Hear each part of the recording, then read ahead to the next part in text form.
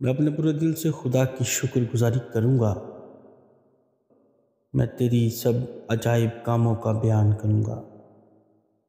मैं तुझ में खुशी मनाऊँगा और मसरू हूँगा आए हक ताला, मैं तेरी सताइश करूँगा। जब मेरे दुश्मन पीछे हटते हैं तो तेरी हजूरी के सबब से लर्जिश खाते और हलाक हो जाते हैं। क्योंकि तूने मेरे हक की और मेरे मामला की तायद की है। तूने तख्त पर बैठकर सदाकत से इंसाफ किया।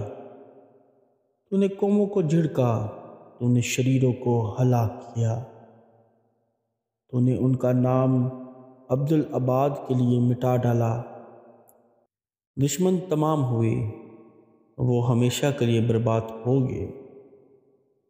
और जिन शहरों को तूने ढा दिया, उनकी यादगार तक मिट गई। लेकिन खुदावंद अब तक तख्त नशी हैं। उसने इंसाफ के लिए अपना तख्त तैयार किया है। और वही सदाकत से जहान की अदालत करेगा। वो रास्ते से कौमों का इंसाफ करेगा।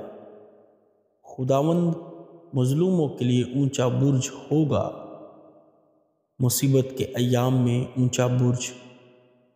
और वो जो तेरा नाम जानते हैं, तुझ पर तवक्ल करेंगे। क्योंकि आए खुदावंद, तूने अपने तालबों को तरक नहीं किया। खुदा की सताइश करो, जो सयून में रहता है।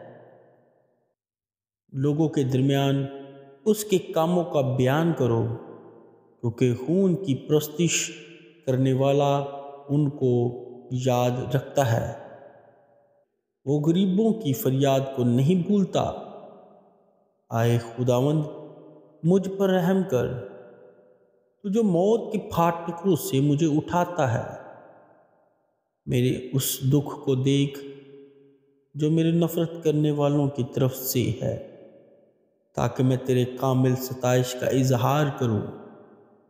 सयून की बेटी के फाटकों पर मैं तेरी निजात से शादमान हूँगा। कौमें खुद उस घड़े में गिरी हैं जिसे उन्होंने खोदा था। जो जाल उन्होंने लगाया था, उसमें उन्हीं का पाँव फंसा। खुदा की शोहरत फैल गई। उसने इंसाफ किया। शरीर अपने ही हाथ के कामों में फंस गया है। शरीर पताल में जाएँगे। यानी वो सब कौमें जो खुदा को भूल जाती हैं। क्योंकि मस्कीन सदा भूले, भसरे ना रहेंगे। ना गरीबों की उम्मीद हमेशा के लिए टूटेगी। उठ आए खुदावंद, इंसान गालब ना होने पाए। कौमों की अदालत तेरी हजूरी में हो।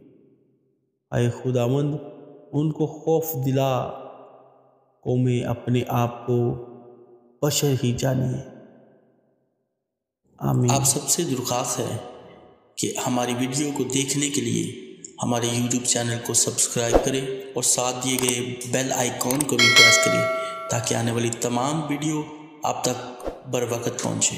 शुक्रिया।